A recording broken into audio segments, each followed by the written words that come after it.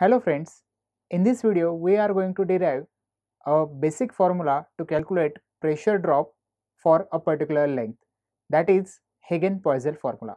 So let's move on to video.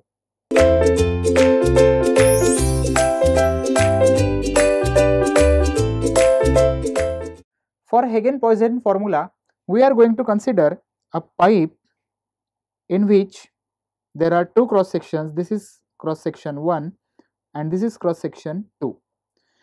This is the direction of flow. This flow direction is due to difference in the pressures. So, there is high pressure at 1 when compared with point 2. So, it is clear that this pressure P1 hence this P1 is greater than P2. This is the responsible thing for the flow in this direction as shown in the figure. So, let us consider the distance between these two cross sections be this capital L. The other distance from reference point this is the reference point this is the x direction and this distance is x1 and this distance is x2 if i am to talk about average velocity that is u bar that is equal to 1 upon 8 mu minus delta p by delta x into this r square this r is nothing but the radius of a pipe that is this capital R. So, we have basic equation as delta p by delta x that is change in pressure with respect to length that is equal to minus delta p by delta x this whole bracket equal to all these terms will go on another side and will be become as 8 u bar mu upon r square.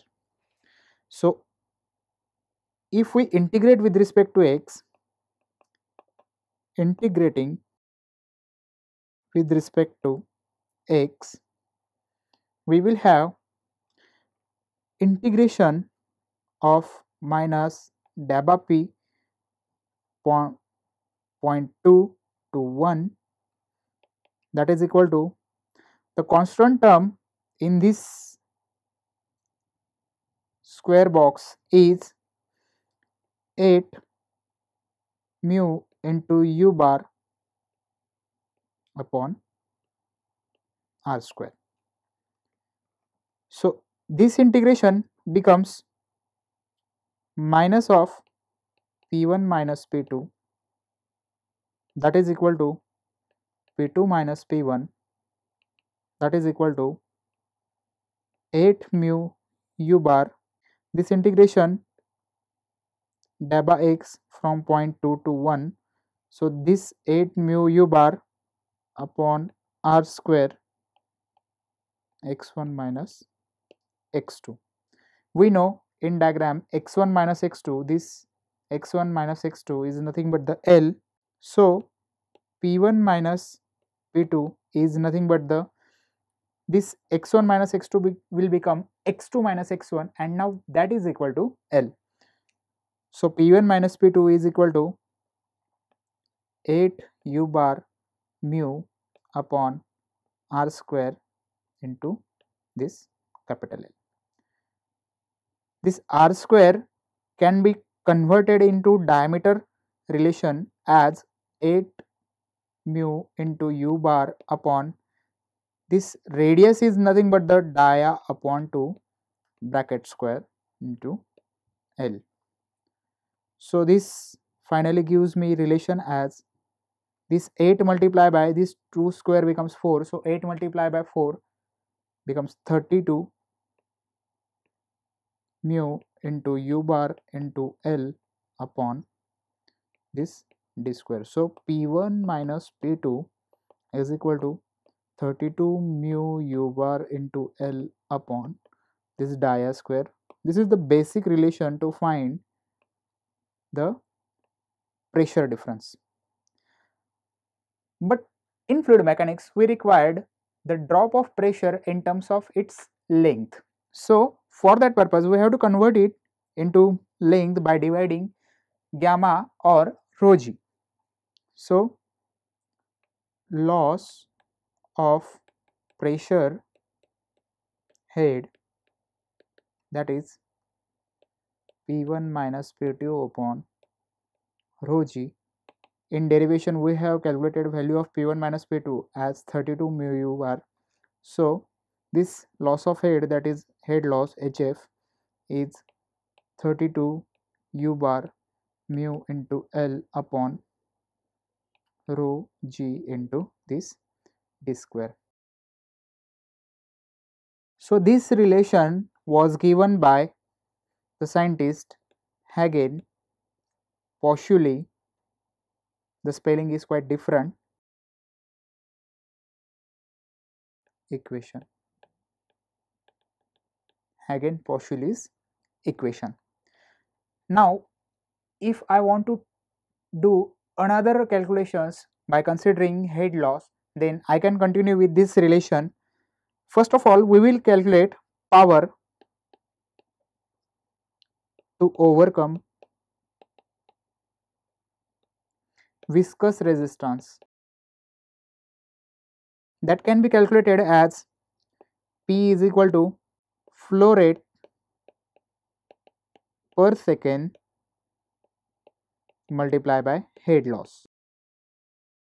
So, flow rate per second will be denoted by letter capital W, weight of water which is flowing in 1 second that is W into head loss is HF that we have already calculated.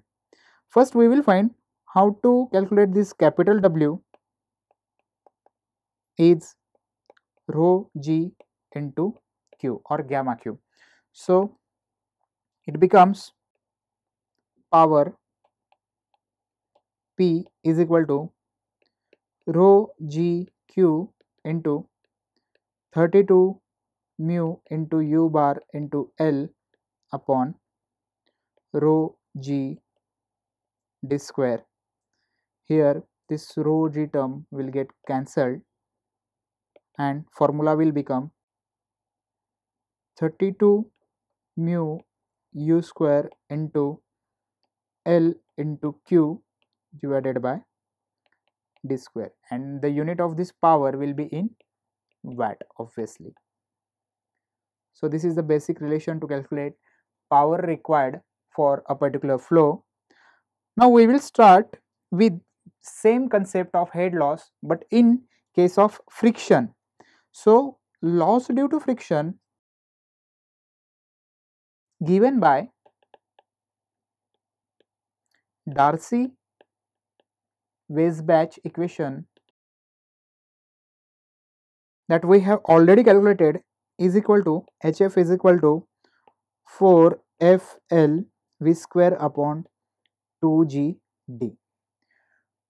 Now it is clear that there are two relations of head loss so we can equate them but before that we will consider some terms which were present in Darcy-Weisbach equation in terms of regular equation that is Hagen-Poiseuille equation. Here this velocity in this formula is actually taken as u bar in Hagen-Poiseuille equation. So, we will convert both the equation equating both equations one side will be 32 mu u bar L upon rho g d square that is equal to 4 f L this u bar square this v square means u bar square upon 2 into g into this d.